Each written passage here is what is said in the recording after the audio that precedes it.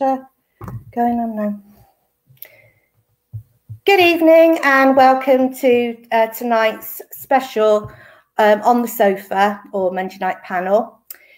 Um, we have got three trust board members with us who are going to discuss the um, events of the past week or so. And um, then later on, we'll do our on the sofa with Gabrielle. Okay, so let's bring in Vic. Hi, Vic. Hi, Chris. A very good evening to you. Good I evening. Hope you, I hope you're well and lots I'm to discuss well, this evening. thank you. Yes. We have, yes. We're just waiting for the board members to um, join us. And so when they come on, we can uh, we can make a start. Just to explain who we've got, we've got James Spencer, who of course is a regular on the Monday night panel. Uh, we've got Alex Pollock and we've got Stuart Willard. And there have been develops in developments in the last few minutes. So it'll be interesting to hear what those developments are. I know Alex Pollock has been very much on board with that. So uh, we'll get them uh, on as soon as we possibly can. We're just waiting for them to link up.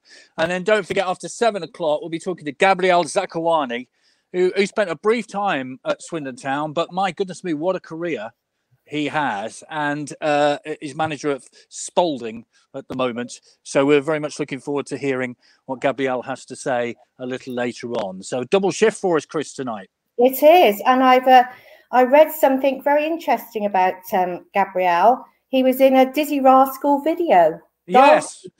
Well, I was going to ask him about that because it was it was on Wikipedia, so it must be true. huh? Oh, right. oh gosh, yeah, yes, yeah, yes. must be, must be Yeah. true.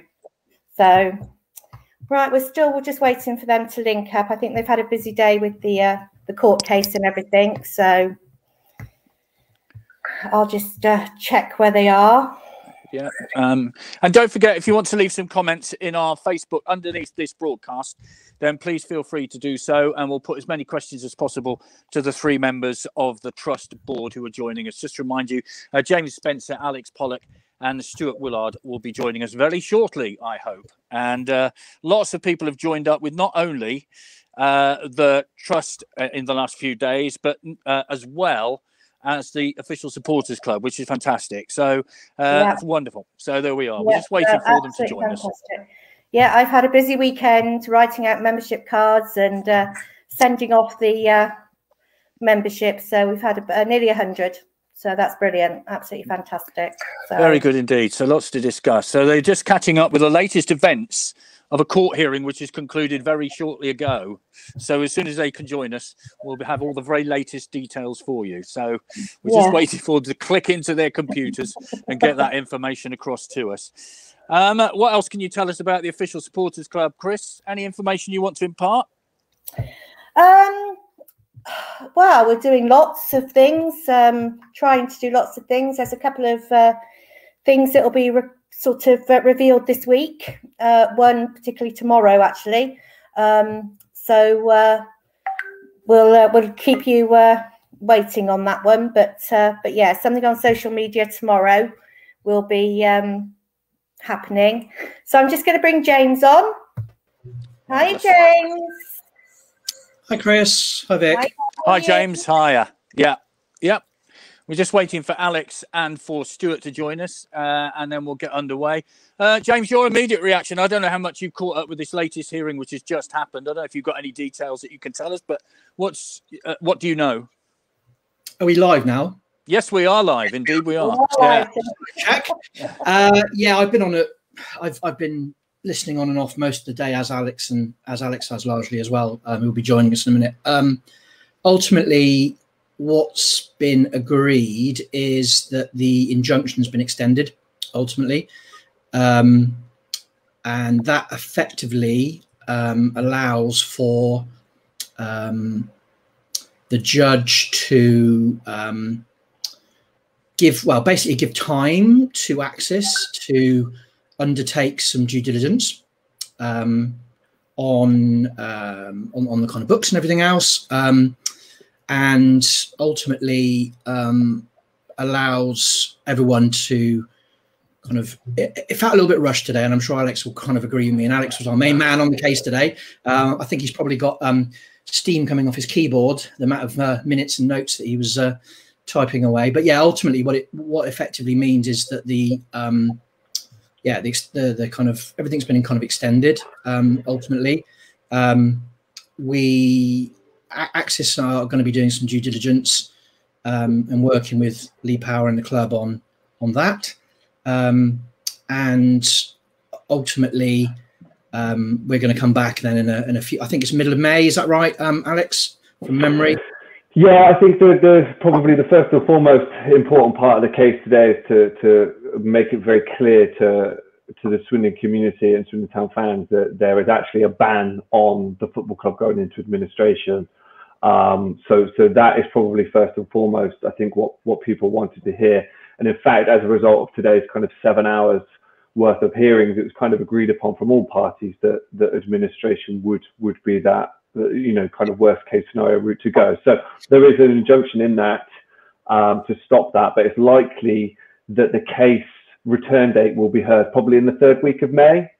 Um, so that gives us a couple of weeks now uh, for Mr. Power and the club to follow the court orders on providing due diligence documentation to Axis Football Investments, Mr. Morfuni and Mr. Standing. Um, they have until next Friday to present all of those documents um, to Axis, and then Axis have uh, some time in play to to effectively make a make a formalised offer um, to Mr. Power for Swindon Town Football Club. Uh, one which Axis is in is in kind of belief that they can better the um, present offer which is on the table from Able or AC uh, Sports Wiltshire LLC, which is the uh, the American vehicle uh, that has also made a made a bid for the club. Yeah, it's very confusing, Stuart, isn't it? Because I've tried to keep my little brain around this, but you know, it, it, for people like me, word blindness comes right into this, and you, you know, facts, figures, companies, uh, all that kind of thing. It's very difficult to follow. How difficult is it for you guys? Because of course, you now have no contact with a football club, do you? Well, that's right, Vic. It, it's incredibly difficult to follow. I mean, Alex has done a fantastic job today, and James both following the proceedings and, and, and doing our utmost to to keep us up to date. But there's a lot of legal jargon in there that I won't pretend to to understand all of. Um, but I think Alex has summarised it pretty well there. Essentially, Axis have now got the ability to try and match the bid for Mabel. Um, administration is off the table, which is fantastic news, and that's you know that was the, the best result from today. So the club will be sold one way or another. Um, to either Able or Axis, and, and, and that part is is to be determined.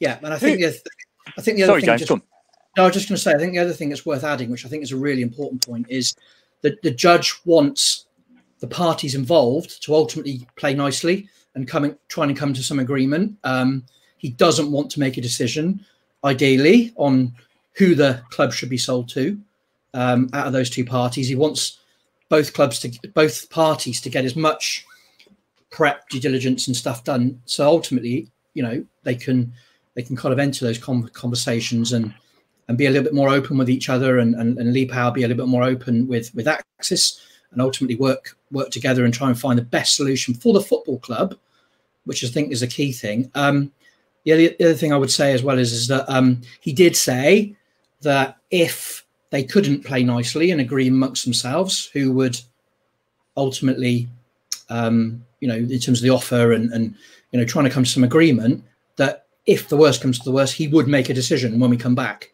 in three or four weeks' time. I think that's right, Alex. Is well, that's from... exactly what I was going to ask. Ultimately, Alex, whose decision is it? Who yes. can buy this thing? I mean, if I, you know, to name Woolworth, if I was to go into Woolworth, which doesn't exist anymore, and want to buy something, it's my decision to buy it. But from what I'm just hearing from James, it's not necessarily the, the buyers of the football club whose decision it will be to buy it. Is that fair enough? Yeah, and I mean, in in any other context, Vic, it's, it's probably quite easy to, to put a scenario like that in play. However, the, the judge was, you know, quite keen to stress how complex this particular situation is. Ultimately, uh, Mr. Power, uh, through Swindon Reds 20 and Seebeck 87, which are two kind of holding company vehicles of the registration of Swindon Town. Effectively, he is the majority. He is the majority owner as things stand and as it's delivered by Companies House. Mr. Morfuni through Axis Investment owns 15%. Um, ultimately, Mr. Power is is kind of within his rights as to who he wishes to sell to. However, since 2019, there has been an injunction in place uh, by Mr. Standing to stop the sale and prevent the sale of the club to anyone without the confirmation of Mr. Standing and Mr. Morfuni. So, in a normal scenario, yes, anyone who owns owns their company or owns their football club would be within their right to sell it to whom they wish. However, in this scenario, Axis comes into play, Mr. Morfuni. What the judge was saying as a result of today is, on the flip side of that, it can't just be the way of Axis Football Investments who say, no, we don't want you to sell to this company. We want you to accept my offer. Um, so what the judges effectively said is, okay, let's buy ourselves a little bit of time here. There's an offer on the table from Able. There is potentially an offer from Axis, but there needs to be a bit more due diligence whilst whilst there is still some available funds within the club for operating costs, which we're you know assuming maybe the, the next month we should be okay. Let's give Axis the opportunity to either match or better Able's deal, and then Mr. Power will have two offers of the same scenario, and he should be encouraged and potentially persuaded to go with the offer which is in the best interests of Swindon Town Football Club not in the best interests of Mr. Power himself. So it'll be interesting to see when both of those formal bids are made public, uh, what the actual implications for the directorships, how they kind of come in come into fruition. So, Stuart, the, the, good news is, and this is from Pete. So, administration is def- basically off the table now. There'll definitely be a sale. That that appears to be the bottom line out of today's proceedings. Uh, I, and I'll get to you in a moment. Just in a couple of comments that are coming in. Uh, Mark, hello to you, Mark. Uh, hats off to the Trust for the great work they're doing. Also, excellent to know that the judge appears to be sympathetic with the fans, saying how important it is to the people of Swindon. And I think, Stuart, over the last few days, I don't know what you can you give us an indication? I know with the official supporters club. Chris was telling us earlier how busy she's been getting membership details sorted. Uh, how about the trust? Well, in, in terms of membership, um, our numbers have gone through the roof over the last few days, Vic. Yeah, it's an incredible amount of support shown by the fans um, for us. So yeah, yeah, we're, we're, we're getting our membership numbers up to, you know, it's more, they've more than doubled in the last few days. So yeah, that's that's that's extremely encouraging. So we're working through those, making sure that we, you know, we, we we've had a few questions from people uh, about how to sign up, and, and we're you know we're making some changes to make it as easy as possible over the over the next few days. So just bear with us on that. But um, but yeah, it's been it's been really really encouraging the amount of support that we're getting now. Where, where do we go from here, Stuart? Because once you get that groundswell of support with you, it's important to use it, and the both supporters organisations will want to use that groundswell of support. Uh, how do you see the future with whoever owns the football club come May uh, where do you see those two fitting in? Well, I, I, guess it will depend on who the owners are and what their what their intentions are. But certainly with Clem Morfuni, uh, he's he's been engaged with us on a number of occasions. Uh, he was obviously the only person to respond to our open letter, set out his vision for the club, uh, which he's committed to involve the supporters heavily. Uh, he's committed to having um, members of, of, the various um, supporters group on the board uh, and, and, keeping them in touch in that way. So we're extremely encouraged, encouraged by that. You know, that's the, that, that's the sort of level of openness and transparency that, that we're looking for. And you know, I think under under under Clem's Clem Morfuni's ownership, there will be a, a huge involvement for all of those supporters groups. What I would say is is we would be prepared to work with any owner who would match that level of openness and transparency. But at the moment, it, it's only Clem Morfuni, Morfuni that's actually demonstrated that he would do that. Uh, James, got lot, comments coming in. So, um, who makes the decision who to sell to? Because we don't know who owns the other 85% of the club. I mean, to be honest, who knows owns what at the minute? I mean, it's so very confusing. Um, that is an important uh, comment. Uh, this is from Lena were able represented in court. Uh, from Ben, I wonder whether this delays Odimayo, Twine, and Payne sales. Uh, Twine's contract progress is like a brick through mud. A good description. Uh, how long would a sale take to go through? And from Jim, what is actually known about Able? I mean, lots of comments there, James, already, and and it just goes to show the level of confusion.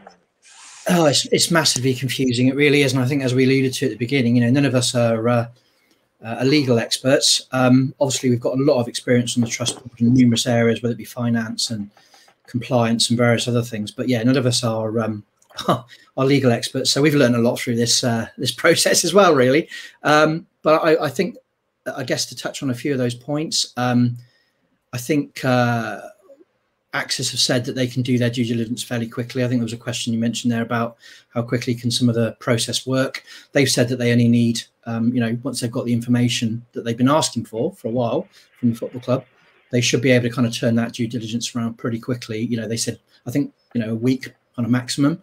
Um, so that that obviously will occur. Um, I think it, it, was stated that um, Able are are they've already signed an, a, an agreement with with Lee Power.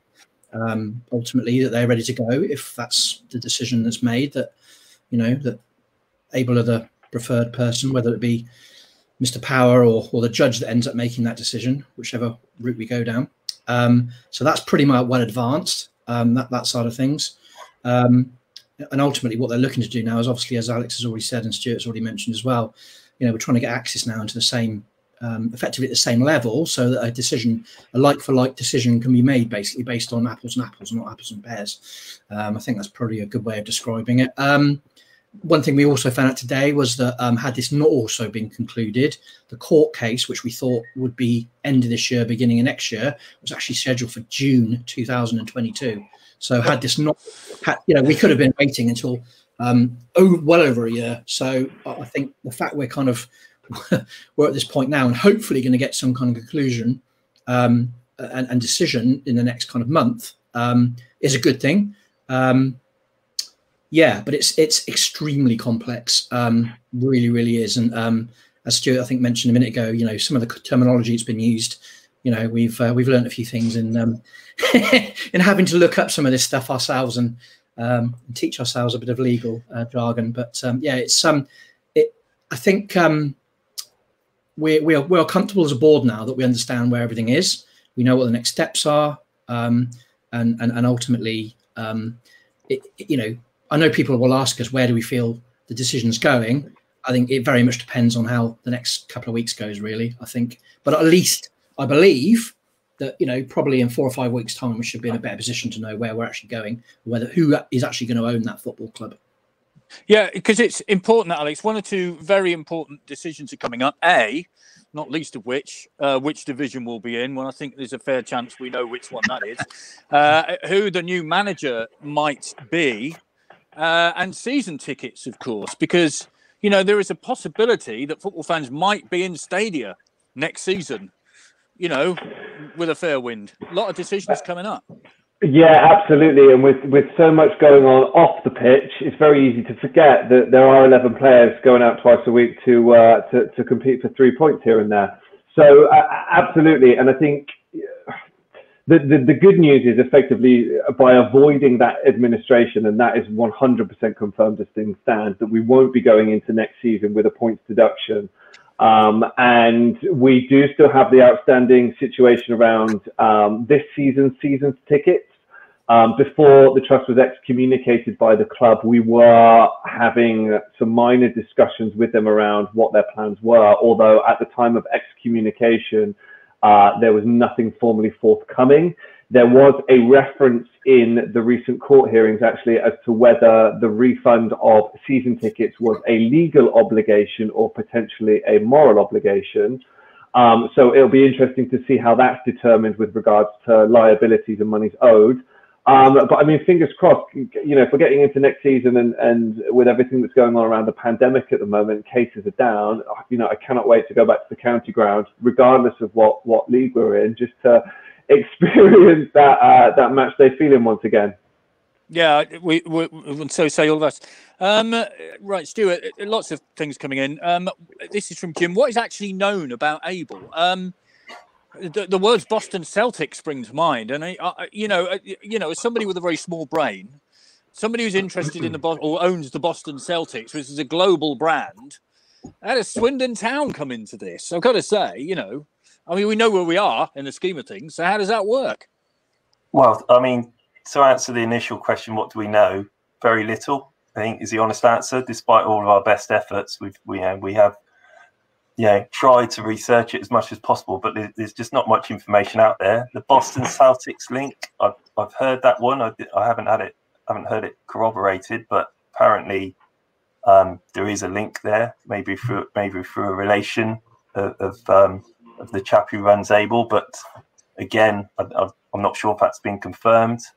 Um, but yeah, the honest answer is, as I said, we know we know very little about the company, and and and that's kind of you know that's why we're not really in a position to support their bid. You know, if if, if we'd had the level of transparency and openness that um, we've had from Clem Morfuni, then then as I said before, we would be you know we, we, we would be more uh, more comfortable, and, and we are agnostic of owner. Um, you know, it's not as though uh, you know we, we are trying to be open minded about Able, but there's just no information about them. Yeah, if it, yeah. if anyone's got more information than we have, then then we'd be we'd be delighted to hear from them. But uh, we we haven't we haven't come up with much so far. Yeah, I think it's fair to say that this session isn't an owner bashing session. We just want to know what's going on with our football club, uh, uh, and you know, I think it's very easy to come out with bashing uh, uh statements, but we really want to know in five years' time, there's a Swindon Town Football Club playing decent football in front of people at the county ground. That's it. That's the bottom line, isn't it? Exactly right. Yeah, yeah. Uh, with this is from Paul. With American owners' behaviour at the top of the game, I can't imagine what he's referring to there. Uh, I can't see Swindon fans wanting Able. Well, uh, until Stuart's just been saying we find out more, we don't know. I mean, I have to say, James, um, I'm trying to keep the European Super League out of this, but you know the heart's been ripped out of football today, hasn't it? And who knows where that's going to end? And it makes it even more valuable that we have clubs like ours, isn't it? As simple as that.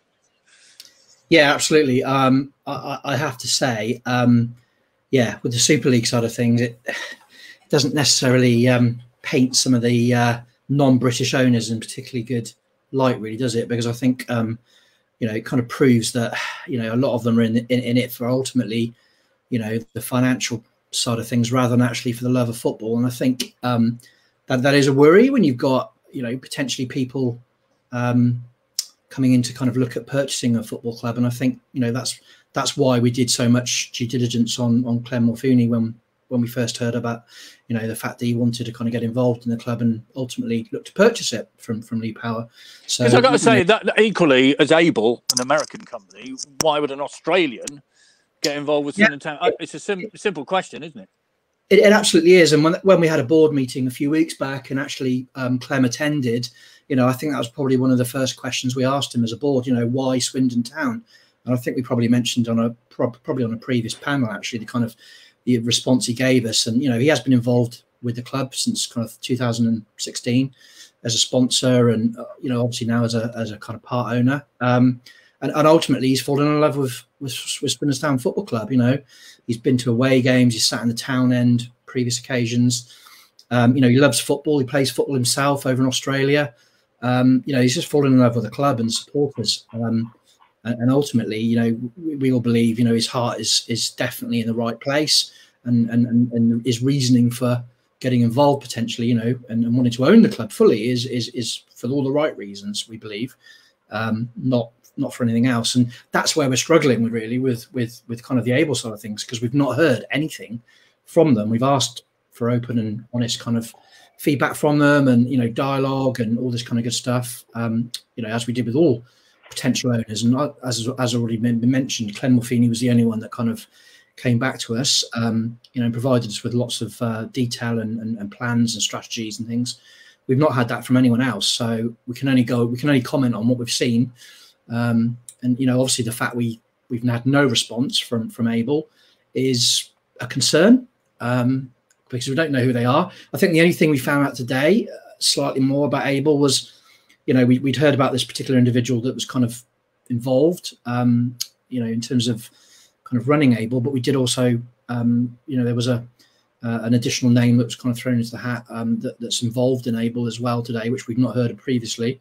So um, again, we'll we'll kind of do some do some research on that uh, on that side of things to see who that individual is and you know what, what business he's in and all that kind of good stuff. But but again, it's it's us doing all of the digging rather than you know that engagement coming from from from Able themselves, really, which is concerning. Yeah, uh, just a reminder at the bottom of the screen, you might see uh, running along being scrolled is how you get in touch with both the official supporters club and the trust if you, you're interested in joining at the moment. Uh, and uh, as we've already heard, lots of people are doing that. Uh, this is from John. Um, I'll, I'll, give this one to you, Alex. Is there any vision for the supporters through the trust to purchase a part of the club?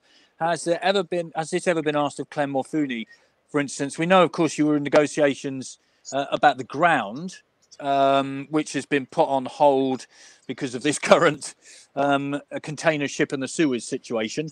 Uh, but what what about uh, possibly being part of the club in terms of buying part of it?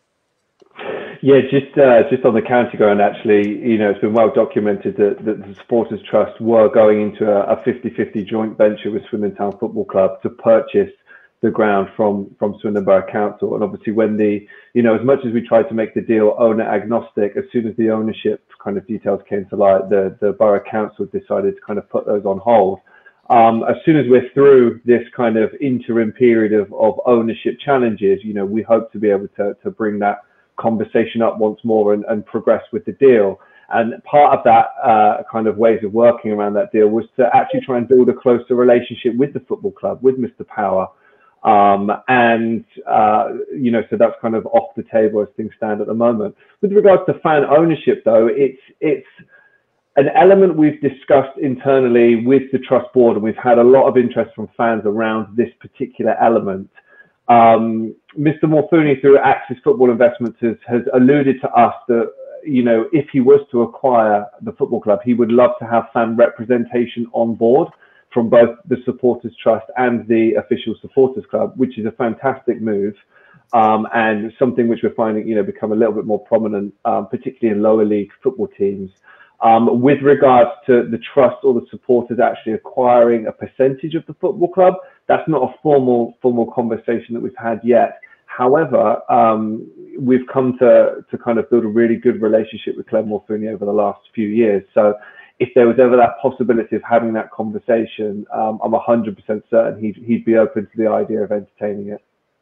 Uh, this is from Mark. Just out of interest, is there anyone out there with some legal experience to assist the trust in getting through this legal minefield? Which I'm sure, if there was, and you would appreciate that help because uh, it is pretty much of a minefield. Quite right. Uh, this from Shane Stewart. Um, how might the FA charges impact upon any sale, uh, particularly if the current owners are sanctioned heavily, possibly even banned from owning clubs? Of course, we don't know that's going to happen. That's still in due process. They've got until the 22nd of April to respond to those uh, possible charges. So, what's your thought on that? In in terms of the sale, I do probably see it as a, as a separate hearing that, that shouldn't impact the sale. Um, I think the only thing that, that might come into it would, would be any possible involvement from Michael Standing, um, but it, but obviously because he is uh, he, he, is one of the uh, individuals that have been charged. But uh, if we assume for a moment that he wouldn't be part of the purchase and it, and it was either Axis and the Clem or the Able Group, then I don't think the FA charge would, would affect that part of the process.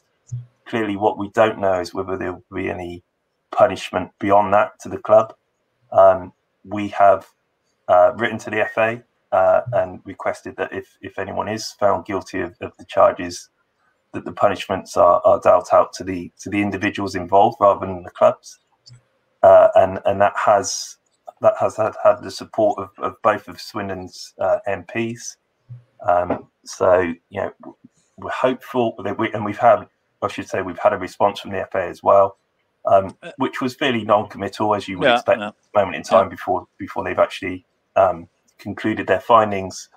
Um, but but we are very hopeful that, um, as I say, should should anyone be found guilty, it's it's the individuals that are penalised rather, rather than the club. So we're just going to have to see how that one how that one pans out. But um, I don't see it having a, a, bearing on on the on the ownership case.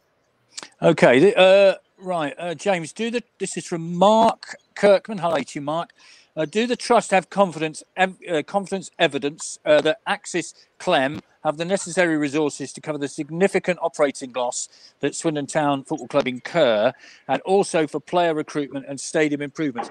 I, I, I, I got to say this to you. Once uh, Dan McCauley, who was uh, chairman of Plymouth Argyle, said, "Here you are. Look, I'll buy. I'll give you the football club for three million quid.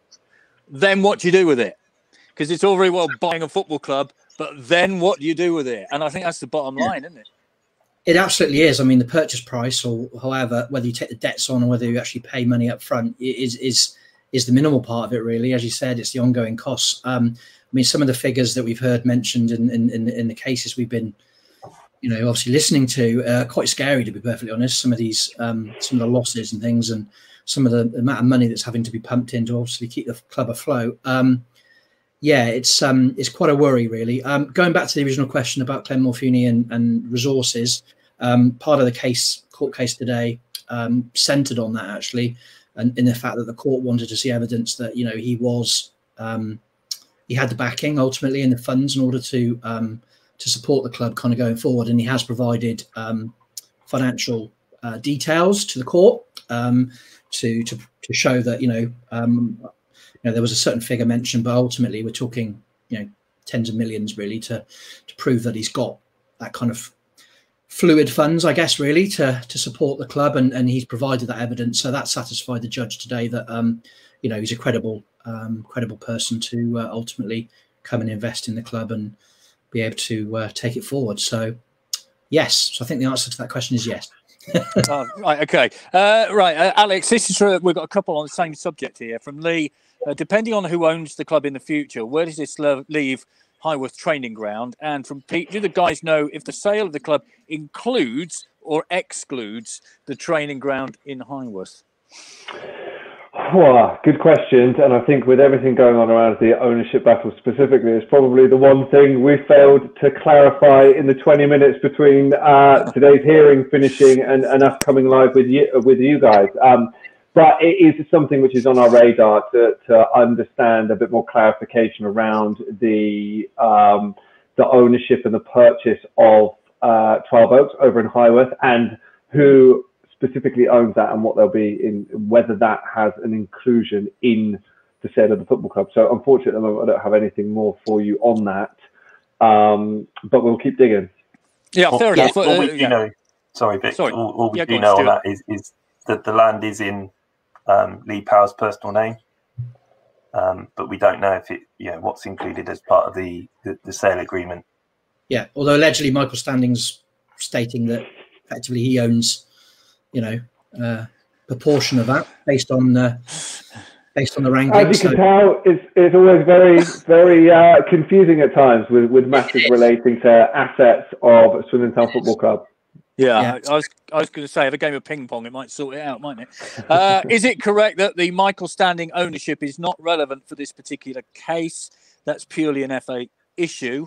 Uh, I think we, we sort of touched on that. The, the, the, Football Association hearing is kind of separate to all this, isn't it? There is, yes, yes. So the, the FA charges in relation to ownership is a, is a completely separate matter being dealt with specifically by the FA. Um, obviously, Michael Standing, through his uh, management company has has staked a claim in 50% ownership of Swindon Town, which is why the FA charges have arisen. Um, part of today's hearing was actually um, the, the, case as it's known is actually Power v Standing. Um, but the legal representation on behalf of Michael Standing is now also the legal representation on behalf of Axis and Mr. Morfuni. And one of the um, one of the judgments and part of the case today was actually to include Axis and uh, Michael Standing together into one combined uh, claimant part. So um, yes, yeah, so, so, what was being heard today was was effectively bringing those two together on behalf of um, on behalf of one claimant party, which Stuart, again was... makes it slightly more confusing for everyone involved. Well, I was going to make it even more confusing, Stuart. Where's Gareth Barry standing all this?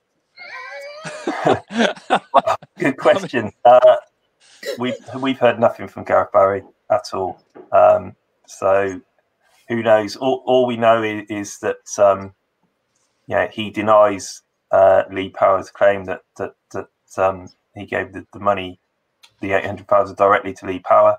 Uh, you know, Gareth Barry's claim is that is that he gave the money to Michael Standing, but over and above that, we've we've not heard anything from Gareth Barry. No. Uh, no, sorry, go on. No, I was just going to say absolutely not. And I think you know the only it almost feels like this court case um, over the ownership really probably won't touch on Gareth Barry. I think you know I think the the the, the element which there will be some uh, investigation, and obviously summarize summary on will be the the FA um, the FA part really. So um, I think that's the only um, only element we will hear about the who decides, you know, who what the decision is on over Gareth Barry and his involvement and all that kind of good stuff. Yeah. Um, yeah, Alex, this is a, a, sort of. I think we've already touched on this, but is it possible that any new owner could be punished by the FA for previous ownership issues? I'm guessing not, although one possible new owner might be involved, if you see what I mean, might they? It, it, Michael Standing, I'm thinking of. Uh, yeah, it, and again, that would that would probably come down to then an investigation further and separating the FA out from from the ownership. Obviously, with Michael Standing being um, an intermediary or or an agent, he has no uh, he has no rights to own or have an interest in a football club. That's totally against the, the rules of, of the FA and, and the football football leagues. Um, so it was interesting the other week when Michael Standing actually removed himself as a director of, of his company, First Touch Pro Management, um, and there was no there was no kind of uh, real understanding as to as to why he did that and why he did that at that particular time. Um, however, what we do know is is from the Axis investment perspective, um, Mr. Morfuni and those involved in his business operations are not football agents, do not have any conflict of interest in relation to um, acquiring the ownership of, of the football club. Um, we know that he has uh, footballing interest in Australia. He, he, sponsors a number of teams. He's been involved in, in building stadiums over there. Um, again, on the Able uh, side of things, very little information is known. It, it, was made apparent in, in court today that um, Able has a number of operating companies, and those holding companies at the top of the tree are involved in sports in the US.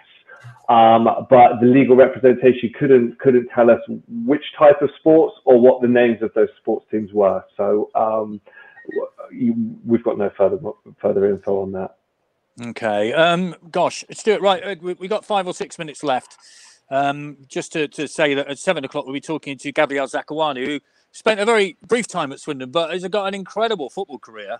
Looking through some of the clubs he's played for and some of the countries he's played in, so we'll be talking to Gabriel from uh, uh, seven o'clock on on the sofa. Uh, this is a, a, special on uh, Monday night panel talking about the events of Swindon Town Football Club. So then, Stuart, um, here we are. We've got this. Uh, we know that administration is off the table. We've got two or three weeks for this ownership to be sort of sorted out in terms of everybody do their due diligence, their cases being put forward. What's your gut feeling about the future of Swindon Town Football Club right now? I mean, turmoil is one word I'd like to use, but uh, you know, is it is it as bad as that, or do you have a, a better feeling? I, think it's slightly better than it was yesterday because administ- administration's been taken off the table. So we know we're going to get new owners, which means we're not going to get a, a 12 point deduction going into next season. So yeah, in that respect, if I'm yeah, if I'm looking at it from a from a, a glass half full angle. I think I think I think it's a little bit better than it was. Clearly, we don't know who's going to end up buying the club. We just hope that that whoever it is engages with the fans, is open and transparent, and, and, and sets out their vision for the club. Yeah, that's that's. And at the moment, as I said before, in that respect, Clem Morfuni's ahead of the game. But um, but it, it, yeah, it, obviously, completely beyond our control who who ends up owning the club, and and, and you know we would hope to work with whoever whoever that uh, company is. The one thing I'd say, James, that it seems to have done the impossible in the last few days, and that's united the fan base, which at certain yeah. times you would think is kind of impossible, but it does seem to have done that, doesn't it? Yeah, absolutely. I mean, I mean, you know, the question at the beginning about the um, the number of people that we've had sign up to the trust, absolutely unbelievable, and it's still still going strong. Um, and I think you're right. You know, the um, the Twitter handle um, that Dan Hunt started, um, you know, regarding kind of uh, you know to non non Lee Power one. Um, you know, everyone's got behind that one. Um, you know, everyone's tweeting it, and yeah, we've got so many really really positive emails, tweets, um, comments on various um, posts and things you know everyone's been very very complimentary and we've had so many people asking us how they can sign up how they can help um, which is brilliant and i think it is it is bizarre, isn't it, that in in in in uh, in such difficult circumstances, fans just pull together. Really, um, I think that's a bit of a, a, British thing, to be perfectly honest. You know, when the chips are down, everyone kind of mucks in and ultimately gets behind trying to sort some you know sort things out. But I think, uh, yeah, it's it's great to see. It's really really great to see. Um, and I think um, I'm really hoping now that we can kind of get the conclusion that we want to. And I think Stuart says my my view is I'm slightly more positive now, like he is, um, post post the admin being off the table. Um, if I had, you know, if I had to give a gut feeling for where I think it was going, I think it's very close. I think it will depend on on um, on a lot of kind of negotiations back and forth over the next few weeks. Um, um, and obviously, you know, if Able decide that you know that they they want to engage and and be more open, then we'd absolutely welcome um, talking to them and hearing their thoughts and views. But at the moment, we've not heard that, so hence why we're very much for Clem Morfuni because we you know we're only going on what we know ultimately. You know, you you, can't you can't deal with something you don't know anything about really. So um, yeah, I mean, we we're just hoping that we get a, a, really really positive outcome, and it's great that the admin's off the table now, which is brilliant. Okay, Alex, I'll, I'll let you have the last word. I mean, you know, you've been slaving through this thing all day, and uh, you know, after this, I'm sure a glass of something, well, whatever it is, is your particular favourite tipple would be nice. But uh, you know, how are you feeling tonight? Yeah, I think there's absolutely still so much more information we need to go through, and obviously the next few weeks are, are, are going to be really crucial. Um, from from a personal perspective, having sat through the hearing last week and, and sat through, you know, those seven hours today, it, it felt really critical that now is is the time for uh, Mr. Power uh, to kind of adhere to the to the court's judgments, provide that financial information, that due diligence to Axis investments, and also give uh, Clem Morfuni an understanding of what the deal from Able is in place. Um, effectively, the judge has said today that because Axis and Clem Morfuni have said that they should be able to either match or better Able's offer. Um, it's down to Mr. Power to tell Mr. Morfuni what he doesn't like about the, you know, the current offer that is on the table. So, um, absolutely reiterate that, that, I think we're in a much better place this evening than where we were this morning or yesterday.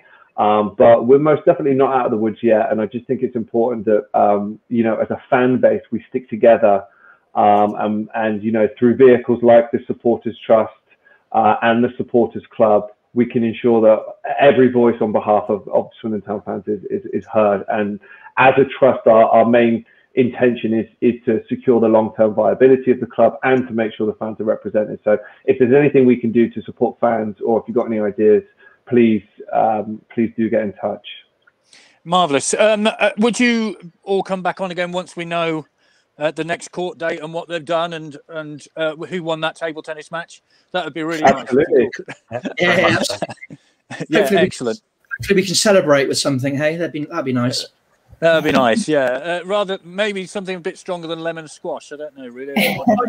Possibly, uh, yes. Yes, uh, Chris. Thank you very much. Thank you very much indeed to Stuart, to Alex, and to James uh, for explaining all that to us. An absolute nightmare to go through, I'm sure, but Chris, they've explained it brilliantly. So fantastic. I just want to show you guys this because I think this uh, actually sort of comes for everybody. So this is from Joe. Well done to the trust who have probably worked ridiculous long hours around their own jobs and home lives. And I, so I think that uh, speaks for everybody. So thanks ever so much for that. Um, oh, oh, no, I don't want that. I don't want that one. Going a bit crazy. so uh, so yeah but no thank you. I i certainly understand it a lot more now so uh, that's fantastic. And thank you very much for coming on so soon after you've uh, all been busy with the court case and everything so much appreciated. Brilliant. Yes okay you. don't forget we'll be back very shortly with uh, Gabriel Zakuani okay